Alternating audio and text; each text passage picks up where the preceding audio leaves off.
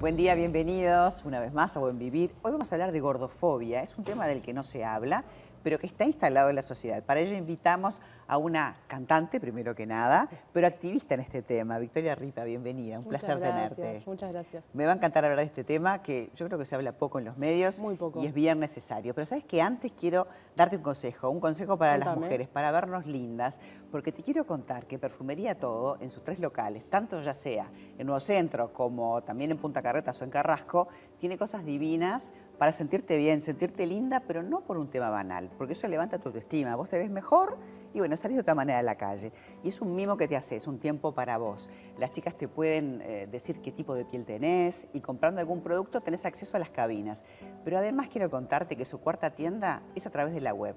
En cualquier punto del país que vos estés, vos podés hacer una compra web y también tenés derecho a esa cuestión promocional, ¿no? De que si me compro algún producto puedo acceder a ese mimo de la cabina. Así que te invito a que conozcas sus locales, eh, no solamente físicos, sino también virtual. Y lo bueno es que te llega a la puerta de tu casa. Hay que aprovechar, hacerse ese mimo y a sentirse bien. Perfumería Todo es un éxito. Yo conozco los tres, los tres locales, Divino. me encantó el de Nuevo Centro, tiene una escalera así, que subiste, te sentís una diosa con una araña, porque esos momentos hay que... Viste que uno se junta y es comer o es no sé qué, no, momentos para uno. Eso nos hace Totalmente. bien. Y de eso queremos tiempo, hablar, ¿no? De sentirnos bien y de romper con ese estereotipo de que el- lo bello, la mujer flaca, hay que tener hijos. eh, no, es así. Totalmente, sí, ¿Por qué sí. está instalado de esa manera la sociedad? Nos cae como, como un piano en la cabeza. Total, eso. sí, está. el- el- los estereotipos de belleza están instalados en la sociedad hace muchísimos años, ¿no? por supuesto que no es nada nuevo.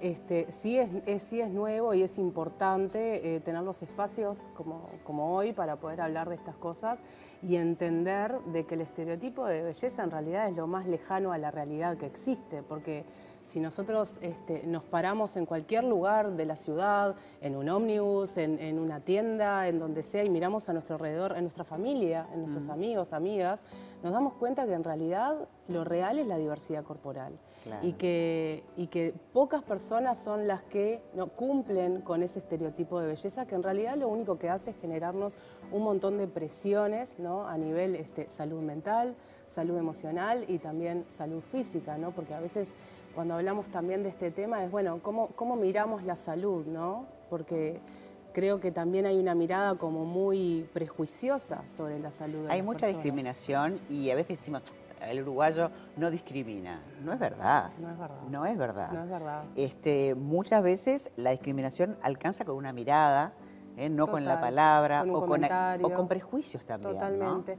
Lo que pasa que eh, cuando a veces este, creemos que no discriminamos es porque tal vez no lo identificamos, porque realmente, por ejemplo, la gordofobia, que es una discriminación hacia las personas gordas por el simple hecho de ser gordas, pasa todo el tiempo. Pasa desde que yo me subo a un ómnibus y tal vez no entre en el asiento, pasa desde que yo voy a una consulta médica y la única solución para cualquier mal físico que pueda llegar a tener es bajar de peso. O sea que antes de hacer un tratamiento primero tenés que adelgazar, Siempre. como premisa. Siempre, siempre.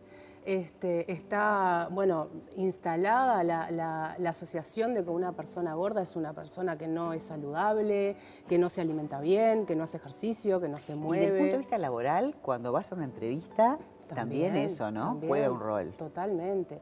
Un montón de gente que se queda sin trabajo por la apariencia física, así como también me han llegado historias de personas que se quedan sin trabajo porque, por ejemplo, no entran en el uniforme de la empresa a la cual. Bueno, y ahí nos metemos en, en- en el proyecto de ley, la ley de También. talles, ¿no? Que es todo un tema, ¿no? De que Sí. este, parece como que están mal hechas a veces las cosas, ¿no? Total. Entonces, lo que le llaman grande, chico, S, L, M, digo, es un poco relativo. Y Es tiene que ver con un tema económico, de cantidad de tela, básicamente, Totalmente, ¿no? o sea, pasan muchas cosas. Este proyecto de ley nace en realidad hace muchos años, ya hace 15 años que está en el Parlamento.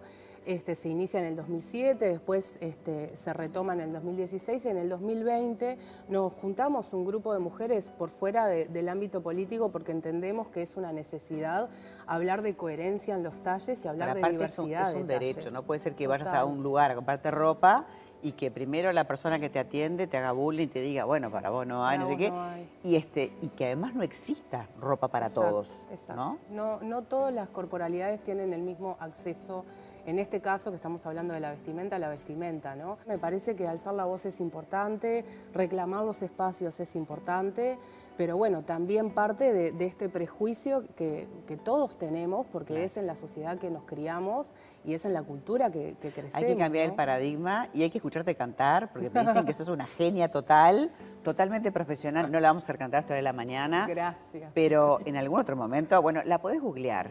¿No? en las redes sociales estás. Estás como Vicky Ripa. Vicky Ripa. Bueno, te voy a buscar y te voy a escuchar. Dale, me encanta. Y además, bueno, tu voz se puede alzar en este programa, que es parte del contenido. A nosotros nos importa y mucho el buen vivir de todos. Muchas gracias por el espacio. Gracias, Vicky.